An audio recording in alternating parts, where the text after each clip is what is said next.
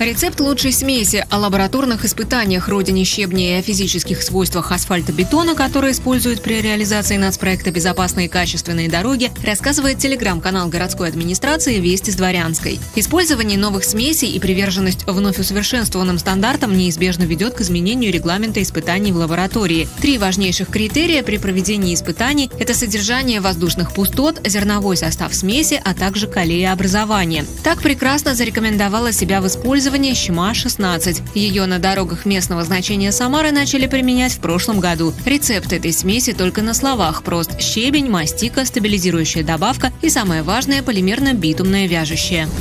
На сайте Департамента опеки, попечительства и соцподдержки Самары размещено положение о проведении регионального фестиваля инклюзивного творчества «Комби Арт-2022» и заявка для участия. Об этом сообщает телеграм-канал департамента. Цель фестиваля – физическая, эмоциональная психологическая реабилитация людей с ограниченными возможностями здоровья через раскрытие их творческих способностей путем инклюзивного взаимодействия. В программе фестиваля предусмотрены обучающие мастер-классы, соревнования и отчетный концерт. Принять Принять участие могут коллективы, дети и взрослые от 10 до 50 лет, как с инвалидностью, с ограниченными возможностями здоровья, так и без. Для участия в фестивале необходимо представить заявку-анкету до 25 ноября на электронную почту.